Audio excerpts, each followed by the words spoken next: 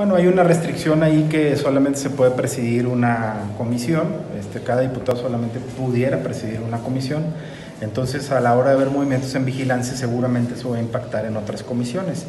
Este, estamos platicando los grupos parlamentarios eh, de, de, todas estas modificaciones, aún no tenemos un acuerdo, este, estamos también viendo el tema de la directiva que va a tener eh, la responsabilidad en el segundo año legislativo.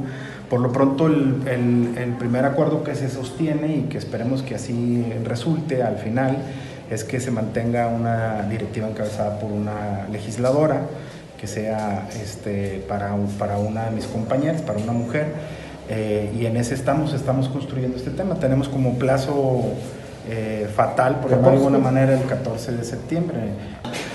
Obligado, que va a ser el día 14 de septiembre a las 11 horas en el, en el Salón de Plenos.